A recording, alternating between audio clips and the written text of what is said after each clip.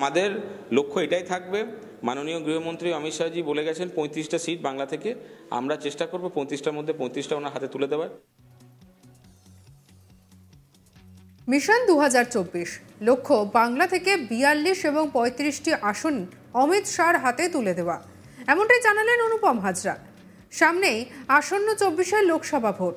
বিজেপির স্ট্র্যাটেজি এবং তাদের লক্ষ্য ঠিক কী সেই নিয়ে আজ তাক বাংলাকে বিশেষ সাক্ষাৎকার দিলেন বিজেপির কেন্দ্রীয় সম্পাদক অনুপম হাজরা।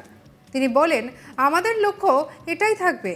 মাননীয় স্বরাষ্ট্রমন্ত্রীকে বলে গেছেন, পঁয়ত্রিশটা আসন বাংলা থেকে লাগবে।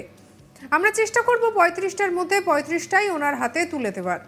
যেখানে সাংগঠনিক দুর্বলতা রয়েছে আগামী চার পাঁচ মাসে, সাংগঠনিক দুর্বলতাকে ওভারকাম করে কীভাবে সাংগঠনিকভাবে দলকে আরও শক্তিশালী করা যায় সবাইকে নিয়ে কীভাবে কাজ করা যায় সেই পরিবেশ তৈরি করতে হবে।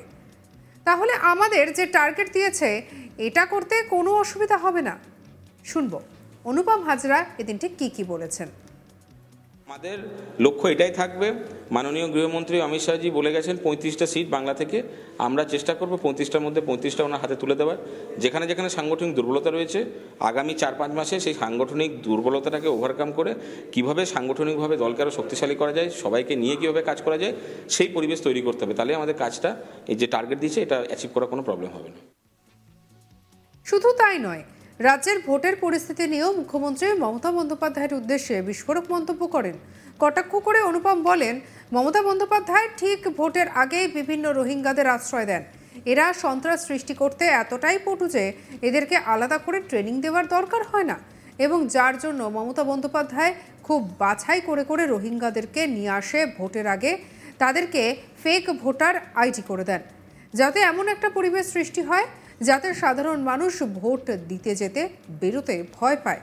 কারণ মমতা বন্দ্যোপাধ্যায়ের ভোটের সময় একটাই টার্গেট থাকে, যে মানুষ যেন ভোটটা নিজের ভোট নিজে না দেয়। তার ভোটটা তার দলের কর্মীরা যেন দেয়। শুনব এই প্রসঙ্গ অনুপম হাজরা কি বলেছেন। আমাদের মমতা বন্দ্যোপাধ্যায় ঠিক ভোটের আগেই বিভিন্ন রোহিঙ্গাদেরকে আশ্রয় দেন এবং এরা এদেরকে আশ্রয় দিয়ে কারণ এরা এতটাই পটু সন্ত্রাস সৃষ্টি করতে যে এদেরকে আলাদা করে ট্রেনিং দেওয়া দরকার হয় না। এবং যার জন্যই মমতা বন্দ্যোপাধ্যায় খুব বাছাই করে করে রোহিঙ্গাদেরকে নিয়ে আসে ভোটের আগে, তাদেরকে ভোট ফেক ভোটার আইডি করে দেন, যাতে অন্তত এমন একটা পরিবেশ সৃষ্টি হয় যাতে সাধারণ মানুষ ভোট দিতে যেতে বেরোতে ভয় পায়। কারণ মমতা বন্দ্যোপাধ্যায়ের ভোটের সময় একটাই টার্গেট থাকে যে মানুষ যেন ভোটটা, নিজের ভোটটা নিজে না দেয়। তার ভোটটা যেন আমার দলের কর্মীরা দেয়।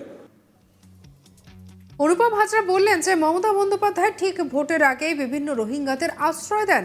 মমতা বন্দ্যোপাধ্যায় খুব বাছাই করে করে রোহিঙ্গাদেরকে নিয়ে আসেন। ভোটের আগে তাদেরকে ফেক ভোটার আইডি করে দেন। মমতা বন্দ্যোপাধ্যায়ের ভোটের সময় একটাই টার্গেট থাকে, যে মানুষ যেন নিজের ভোট নিজে না দেয়।